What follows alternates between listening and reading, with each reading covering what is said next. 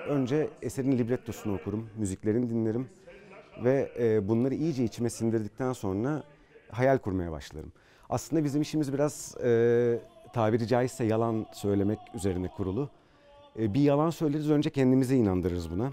Ondan sonra o yalanı karşımızdaki birlikte çalışacağımız sanatçılara inandırmaya çalışırız.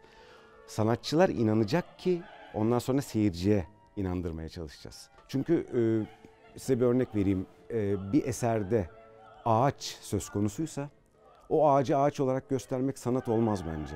E, çünkü normal yaşantımızda zaten o ağacı sürekli görüyoruz. Eğer biz oraya bir kare koyduğumuz zaman seyirciye onun ağaç olduğunu inandırabiliyorsak o zaman sanat yapmış oluyoruz. Bizim biz rejisörlerin e, yaparken yaratıcılıklarını konuşturdukları en önemli faktör budur.